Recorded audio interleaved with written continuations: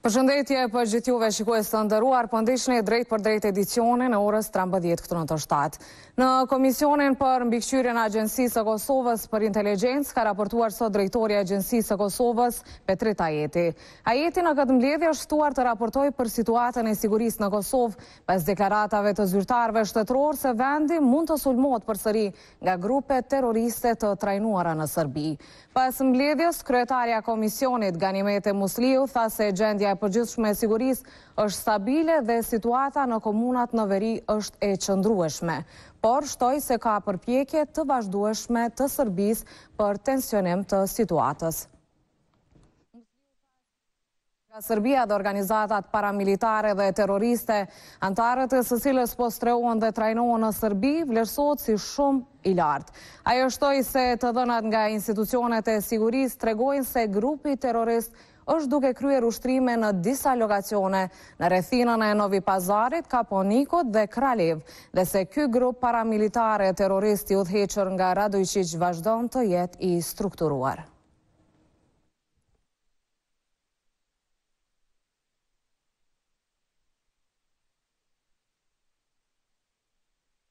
Ndërkohë, ministri i Punëve të Brendshme i Kosovës, Xhelal Sveçla, ka thënë se presidenti i Serbisë, Aleksandar Vuçiq, ka qenë drejtpërdrejt i përfshirë në trajnimin e grupit terrorist që kreu sulmin në Banjskë të Zveçanit në shtator të vitit të kaluar. Në një intervistë për Euronews, Sveçla ka thënë se për këtë Kosova ka dëshmi të mjaftueshme. Kemi incizimet, kemi pranim-dorëzimet e armatimit nga magazinat e ushtrisë për këtë grup terrorist. Kemi informata inteligjente, dëshmi gojore që tregojnë se Vuçiç ishte drejtpërdrejt i përfshirë në trajnimin e këtij grupi.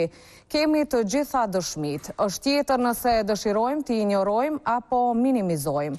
Ne për këto arsye kemi pasur edhe takime të Këshillit të Sigurisë, ka thënë ai të martën.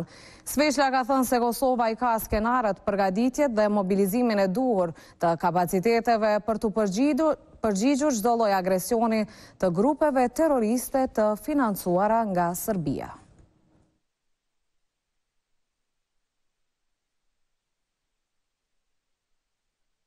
Policia e Kosovës ka njoftuar se ka arrestuar dy persona të dyshuar për veprën penale vrasje në tentativë që ka ndodhur më dhjetë korrik në Mitrovicë. Dy të dyshuarit thuhet se janë vetëdorëzuar në polici të martën. Lidhur me rastin dhe veprimet e ndërmarra hetimore, tek i dyshuari Apik G Thuhet se është gjetur dhe sekuestruar një armë e llojit pistoletë e cila dyshohet se është përdorur në veprën penale. Ndërsa pas procedurave të intervistimit me urdhër të prokurorit të rastit, dy të dyshuarve u është caktuar masa e ndalimit për dyzet e tetë orë.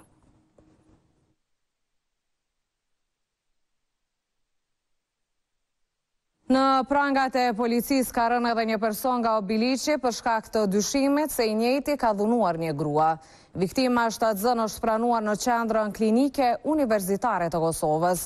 Autoritetet policore nuk kanë dhënë detaje të tjera mbi rastin, përpos që i dyshuari është dërguar në mbajtje. Është marrë informata se në QKUK është pranuar viktima femër shtatzënë, ku lidhur me rastin e lartcekur, me vendim të prokurorit është arrestuar një i dyshuar mashkull kosovar i cili pas intervistimit është dërguar në mbajtje, thuhet në njoftim.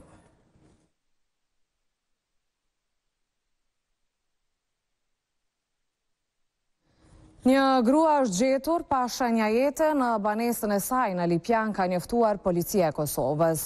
Rasti ka ndodhur të martën e autoritetet njoftuan se në vendin e ngjarjes është konstatuar vdekja e saj. Trupi pa jetë është dërguar në Institutin e Mjekësisë Ligjore për obduksion, derisa janë njoftuar njësitet relevante. Rasti është inicuar si hetim i vdekjes.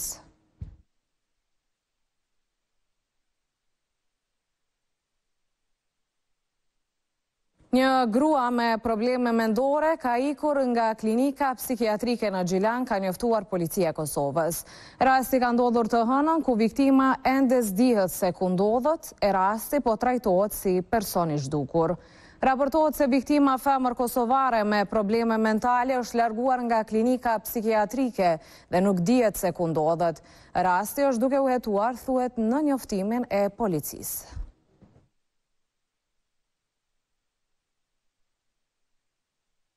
Në gjykatën kushtetuese është dërguar vendimi i Supremes për lejet mjedisore dhe ujore për hidrocentralet e Deçanit.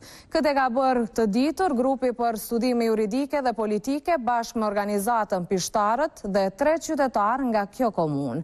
Së bashku po thonë se Supremja vendosi në kundërshtim me aktin më të lartë juridik të shtetit.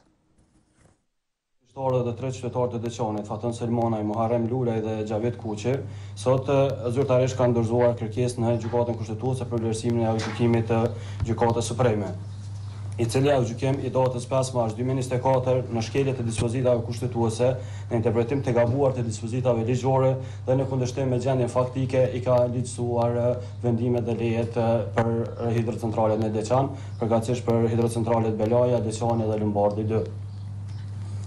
Pasi që si palë ndërhyrëse GLPS dhe Pishtarët si dhe tre, tre qytetarët e Deçanit si paditës i kanë shfrytëzuar të gjitha mjetet dhe rrugët ligjore në kuadër të gjykatave të rregullta në Republikën e Kosovës, kundër këtyre vendimeve për hidrocentralet e Deçanit edhe në Kelkos Energjisë, Palët i janë drejtuar tashmë Gjykatës Kushtetuese për të konstatuar se ky aktgjykim i Gjykatës Supreme është marrë në kundërshtim me disa nene të Kushtetutës së Republikës së Kosovës. Kryeministri i Shqipërisë, Edi Rama është deklaruar rreth çështjes së çmimeve në shtetin shqiptar, duke qortuar operatorët për këtë strategji. Megjithatë, Rama tha se shqiptarët e Kosovës nuk e kanë braktisur Shqipërinë, duke deklaruar se ka një pikë shtatë milionë të hyra. ulët për të thënë që shqiptarët e Kosovës e kanë braktisur Shqipërinë, ndërkohë që fakti është se nga janari deri në qershor janë një pikë shtatë milionë hyrje të qytetarëve të Kosovës ose njëzet e pesë për qind më shumë se vjet.